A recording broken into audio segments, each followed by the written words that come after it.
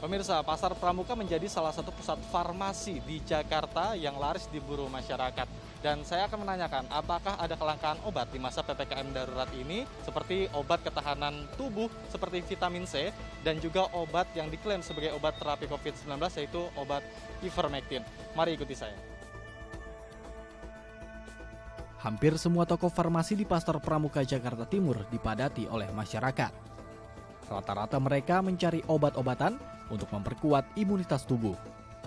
Saya pun mendatangi sejumlah toko farmasi untuk bertanya stok obat-obatan di masa PPKM darurat ini.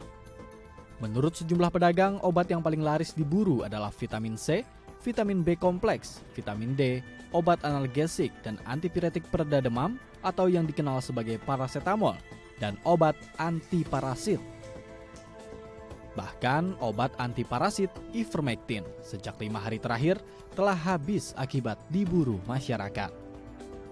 Nah pemirsa, apakah kelangkaan obat di pasar pramuka terjadi, terutama pada vitamin C dan juga salah satu obat yang diklaim menjadi salah satu obat terapi pasien COVID-19 yaitu ivermectin.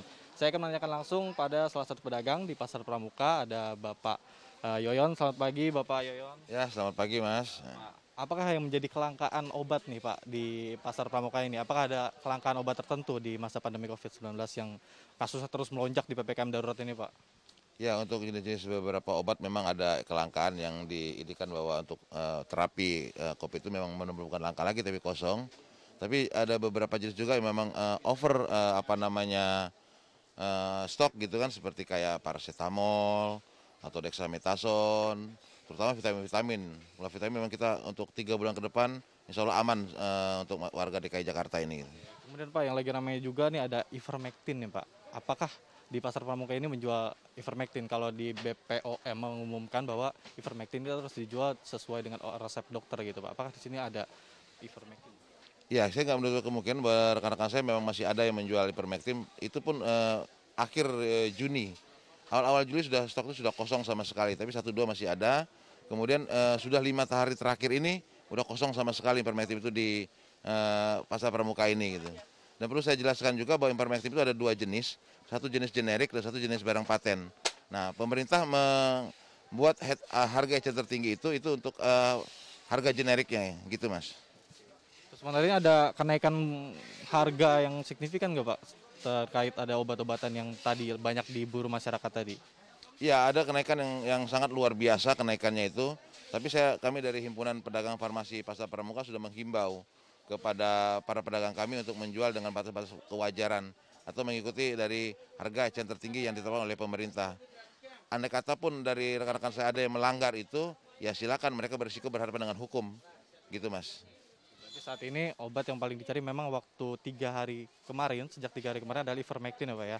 Oke, harapan Bapak nih Pak kepada pemerintah apa tentang penjelasan obat ivermectin ini Pak? Kan masih banyak yang nyari nih, masyarakat masih banyak yang bertanya ada obat ivermectin atau tidak, bagaimana penjelasan Bapak?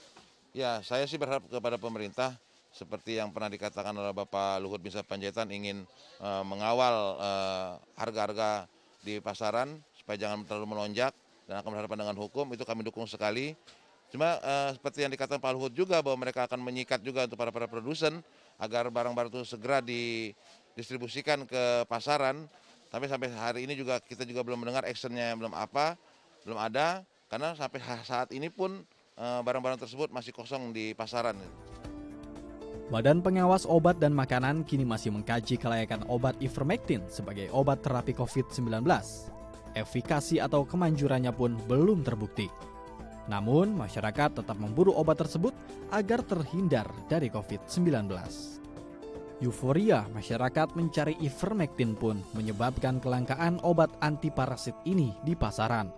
Pengurus Ikatan Apoteker Indonesia, Profesor Dr. Zulis Ikawati mengungkapkan, masyarakat diharapkan tidak mengkonsumsi obat sembarangan.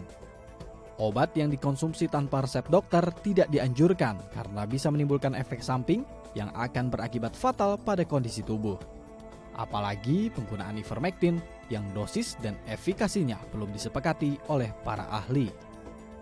Yang menjadi concern kami adalah ketika obat tersebut dipakai oleh masyarakat tanpa pengawasan. Nah, siapa yang akan mengawasi begitu ya. Sehingga kalau memang tadi sampaikan ibu oleh ibu kepala badan bahwa oke okay, obat ini memang sebaiknya uh, digunakan dalam koridor uji klinik. Sedangkan jika akan tetap dipakai sebagai obat untuk COVID tentu tadi harus dalam pengawasan dokter. Jangan sekali-kali masyarakat itu untuk menggunakan sendiri ya tanpa pengawasan begitu ya. Yang saat ini kita sangat uh, concern sekali sangat prihatin karena saya juga sering ditanya uh, caranya gimana mendapatkan ivermectin begitu ya dan sebagainya. Jadi uh, saya kira kok uh, masyarakat mohon untuk bersabar ya karena memang kita harus menunggu dulu dan sementara kita belum bisa menggunakan misalnya maka kita masih punya beberapa alternatif untuk obat-obat COVID yang bisa digunakan. Fikri Aditama, Angga Fridaison, The ITV.